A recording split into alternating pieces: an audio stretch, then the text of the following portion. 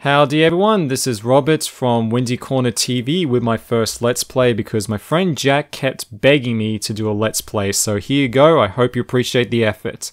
So we're going to choose Claire, and we're going to go with the rocket launcher because that's the best way to exterminate pests.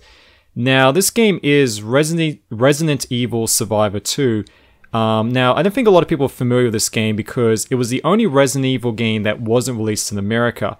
Now, a lot of people have speculated the reason is because it was a light gun game, and at the time these games were considered controversial in America. A lot of people were pointing the finger at these type of games for being responsible for school shootings.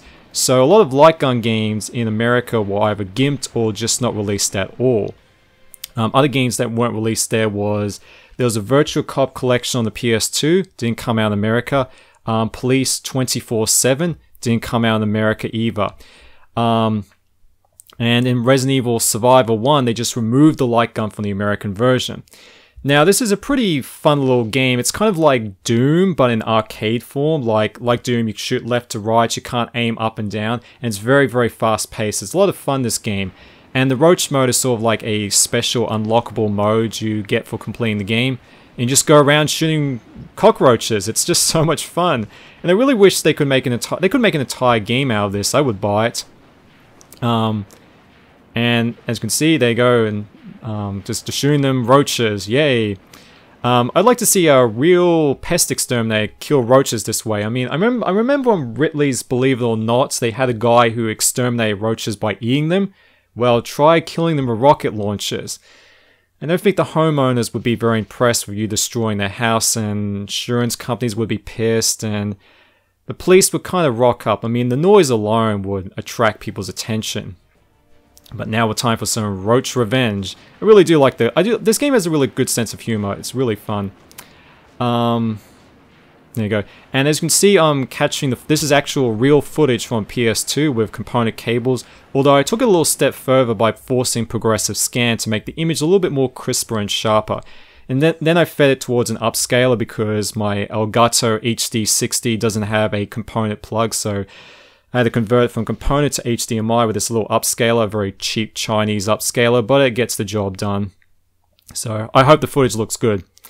Now in this next level, we're going to see something a little bit different. Now we have roaches, roaches on the side, roaches on this side, and ah, it's giant moths, giant moths. Or in Australia, we like to call them small. And no, I'm not joking, there are giant moths in Australia. They're called Hercules moths. And if you live in the tropics like me, you will actually regularly see them. Very, very scary looking creatures.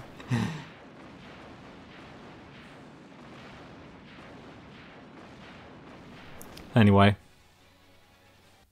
There we go, another level you know, cleared. Yay, S ranking.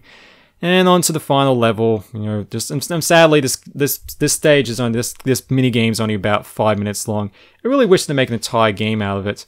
Now, Code Veronica is actually going to get re-released on the PS4 according to the German classification board. They recently rated a PS4 version.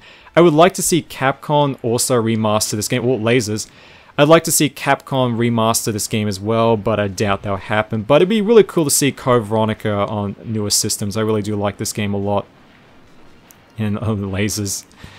Uh, those, you know, lasers and roaches, they're the two best friends. So yeah, I hope you guys enjoyed this Let's Play. It's very much thrown together. Like I said, I pretty much record footage of every game I played. I actually been wanting to review this game for a while, for many years. This footage has just been sitting on my hard drive. Like do hundreds of games. I really wish I had more free time. Anyway, thanks for watching and this might be my next this might be my last let's play, but who knows. We'll see how it goes. Anyway, thanks for watching and I'll see you next time.